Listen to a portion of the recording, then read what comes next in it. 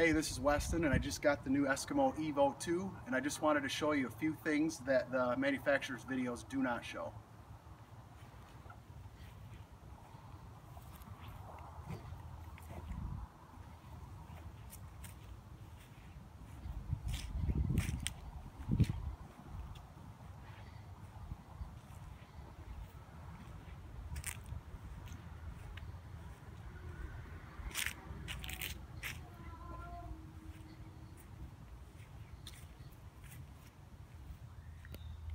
All right, now that you've seen the exterior of the new Evo 2, why don't you come inside and check out some of the features. You see that you got a nice tub here. You got two seats that fold, come up, and they also slide out just slightly. And full 360 degrees rotation. Um, they also come with uh, these spreader bars, extra spreader bars that fold for those really windy days. They go right in the corners like so. You have seven windows in this. You have four great big windows up front, one on each door, and one in the rear.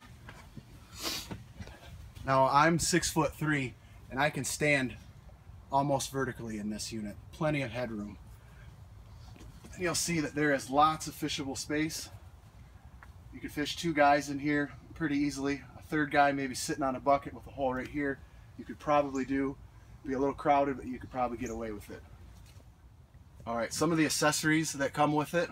You have seven Eskimo ice anchors that go around the outside skirt.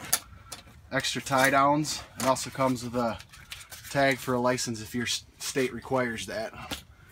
I'm coming out here, the grommets that the that the stakes go into. You got a nice nylon sewn for reinforcement for the grommets. One of the things that I did not like about the shanty is you'll see that I've upgraded the table material. Eskimo put a black felt tabletop on that. Now knowing what I'm going to be doing inside this shanty with bait and dirty hands and spilled liquids and whatnot, there's this would be almost impossible to clean. So I rewrapped it with a red carbon fiber vinyl. This is UV resistant, mildew resistant, and also in low light situations that you'll be able to see the stuff that you've got sitting on the table rather than having a black surface. Now if you're interested in upgrading your table like that, I have a, go with black or red carbon fiber.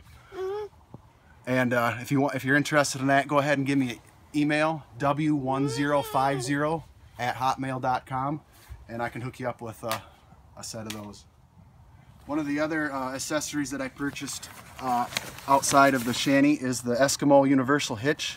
This uh, went on really nice. It's at its furthest extension, so it's as wide as it goes, and you'll have to mount it in that about that area. You couldn't mount it up here because that's as wide as it goes.